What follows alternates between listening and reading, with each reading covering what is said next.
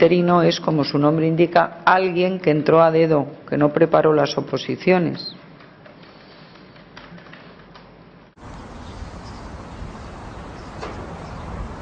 ¿Has dicho cipote?